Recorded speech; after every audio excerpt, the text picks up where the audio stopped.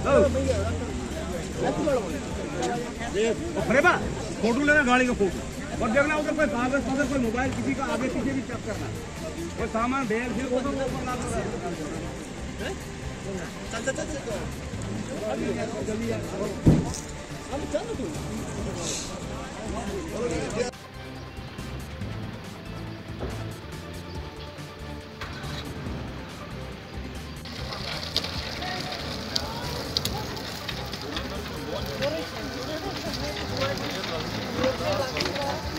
ده بس بسعى